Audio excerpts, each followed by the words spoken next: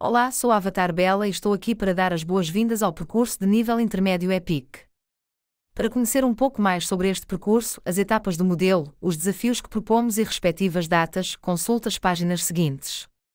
Se tiver alguma dificuldade na interação com a plataforma, sugerimos que envie um e-mail para um dos contactos disponibilizados na última página deste recurso.